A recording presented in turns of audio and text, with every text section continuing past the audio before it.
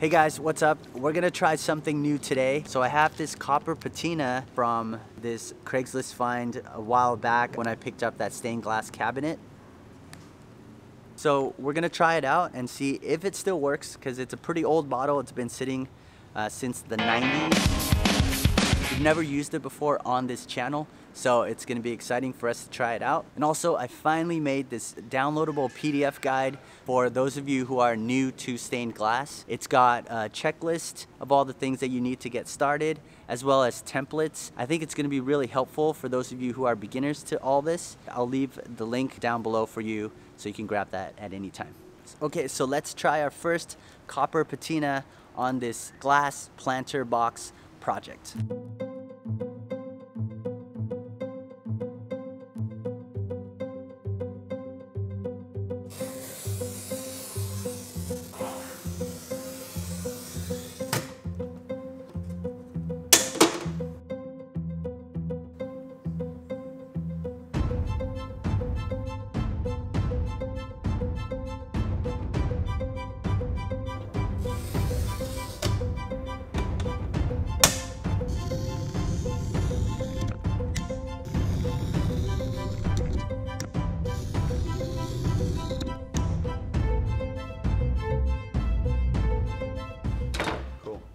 This is the last square that I have to cut. So what we have to do is score this line from one end of the glass to the other side.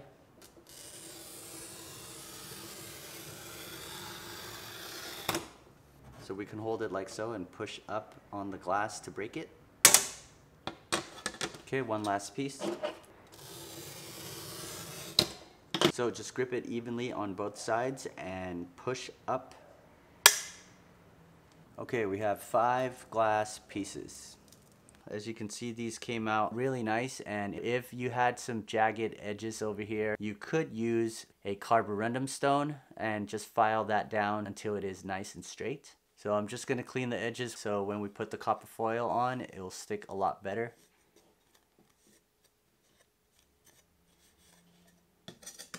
Alright, so we are ready for the copper foiling. So the first thing we need is copper foil tape in the 7 32nds of an inch width. As you can see, this is the copper backed copper foil. And you just need scissors to cut. And we have our FID tool that we'll use to press and burnish everything onto the glass. So we'll just take the tape and line it up to the edge of the glass, making it even on both sides.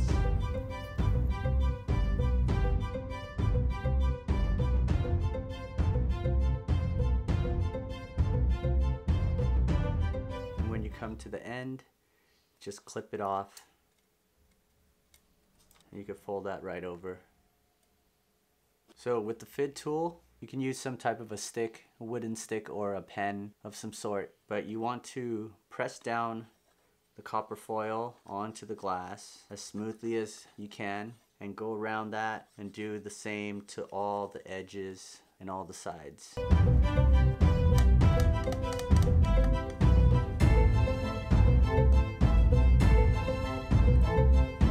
Fold the corners in to overlap it.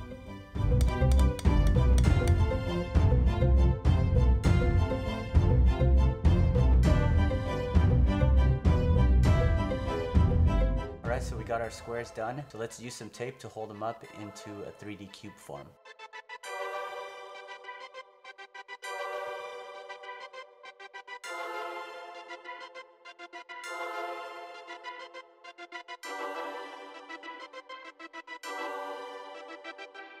All right, the essentials. Got my mask, my soldering iron with the quarter inch tip, and the soldering station set to 700 to 750 degrees Fahrenheit. That's what I like to use. Yours may vary depending on what kind of system that you have. So we have our flux, we got the brush, and the 60-40 solder. And also some heat resistant gloves if you want. I'm using latex. Maybe not the best idea, but I like it. So the first thing we're gonna do is tack these pieces together so they hold up and then we can start adding more solder to it. So I'm gonna get some flux. Let's dab it on this spot right here. And then we're gonna take our soldering iron and we're gonna get a little bit of solder onto the tip. Like so. We're just gonna add that drop right on top where that flux was. That's too much blob. But, okay, so we're gonna do that. Let's try that again. Let's add some flux right there. We'll add a little bit of solder. Just tap it to, there you go. You see how it flows onto the copper foil. There's plenty of flux on my brush, so I'm just gonna use that. Let's go with some more solder. I'm gonna hold that down because it keeps popping out.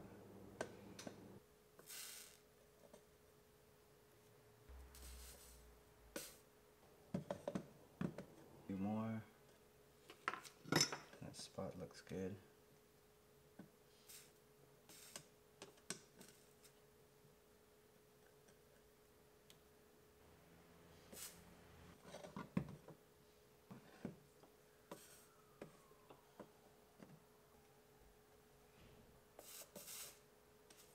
Just trying to line it up nice and even. Alright, as you can see, there's quite a bit of gap right here. Everything else is nice except for this side. I'm going to try to fill this in and hopefully that covers it up and the end result won't be as bad so I would urge you to just continue if it doesn't line up perfectly. Sometimes it doesn't, but in the end, you can actually fill it in and then um, it's hardly noticeable. So let's get some flux on there.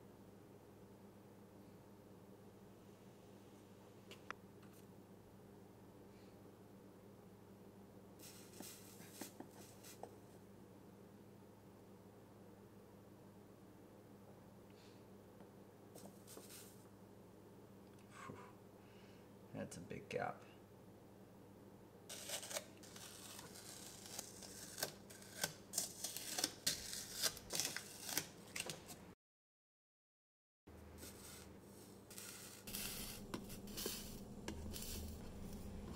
Looks pretty square.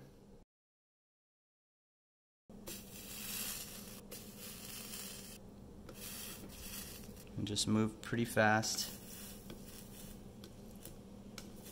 It's not going to be perfect just yet.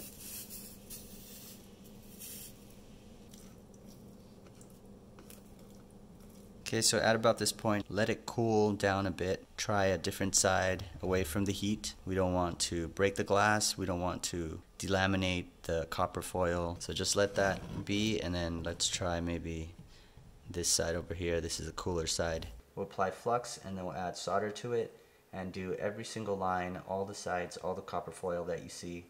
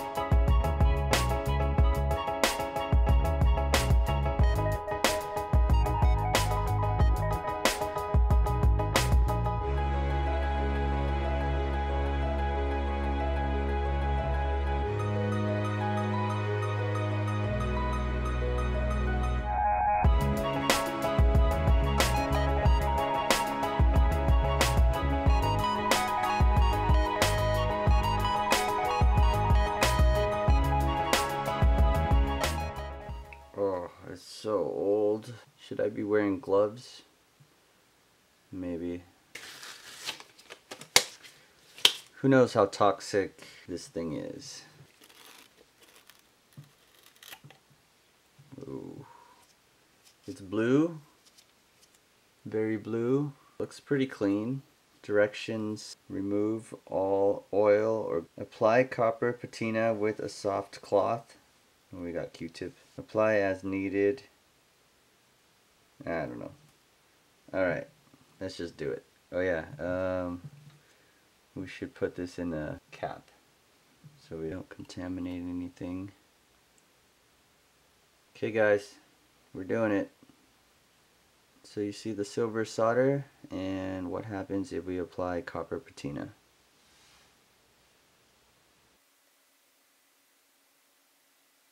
Is that changing color at all? Ooh, kinda.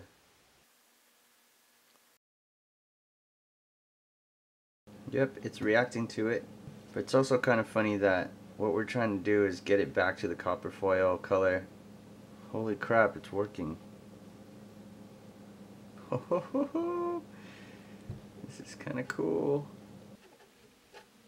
Sometimes it works really well. You put it on, you can see it turn right away. And sometimes it just turns dark and it doesn't go to copper. Maybe you have to go over it a couple of times.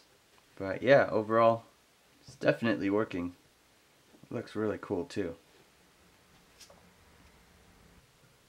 For some reason the inside is working really well compared to the outside. Once you touch the solder, it just turns copper right away. The outside somehow seems like it takes a while to react and like this over here, it's still black, still dark. I'm Not sure why.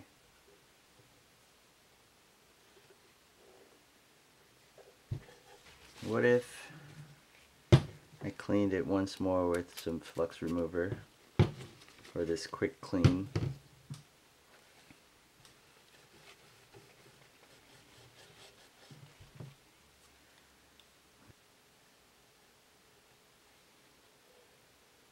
No, that didn't change anything, did it?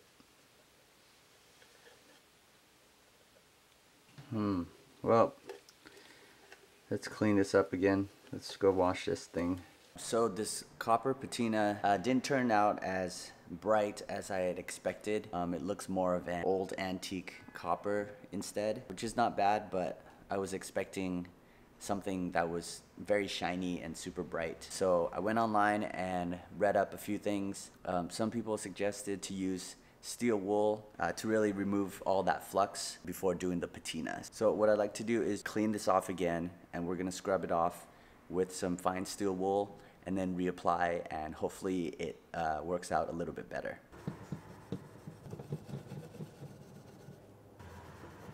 So as you can see, this is coming off pretty easily. All that copper is leaving the solder.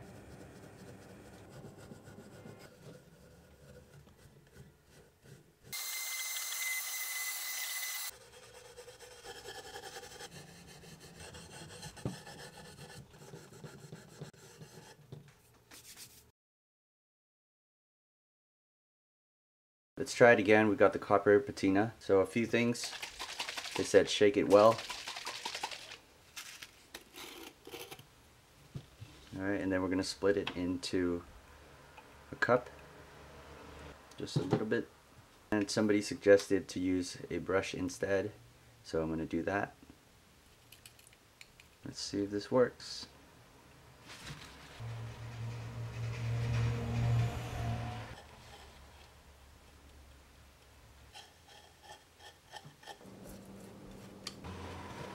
I don't think it's working that great.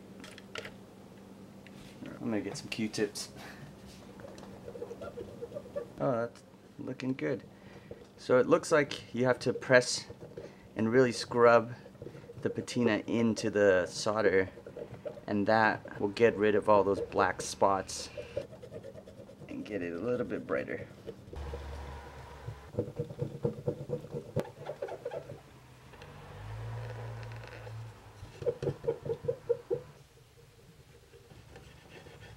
So you can see the inside of the box looks pretty good. Actually looks really good. The copper stands out, looks pretty bright. But the outside, I just did this side and it looks like crap. I'm not sure what's going on. Maybe it's coming back.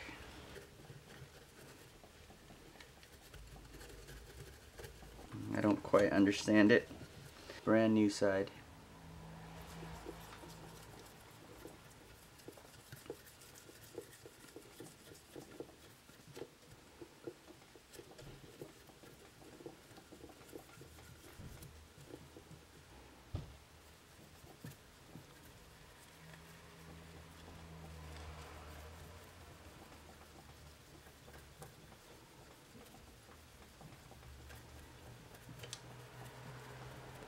That's the best side yet right there. That's what you want. Unfortunately, the rest of it is not looking like that.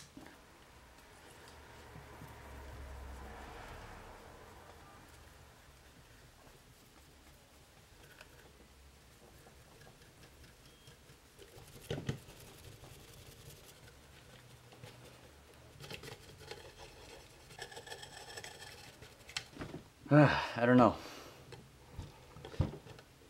Not the best results. Some of it's good. Got some really bright lines. Like this one, I don't know what happened. This line is perfect. And then you have this side. And it's slightly tarnished. Looks blackish. That side looks worse. Hmm. I don't know. so, I'm not sure what went wrong. This box doesn't look bad. I like some of the copper on it.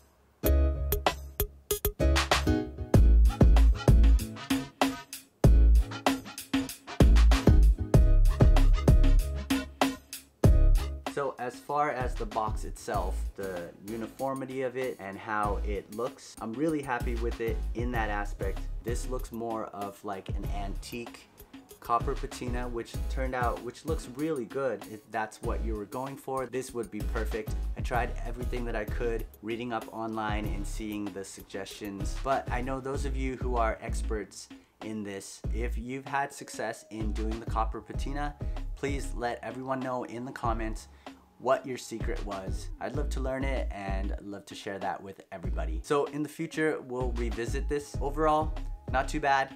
Uh, this turned out really nice. I'm happy with it. So thanks again for hanging out. Hope you guys liked this one. Give me a thumbs up if you liked it, and I'll see you guys in the next one.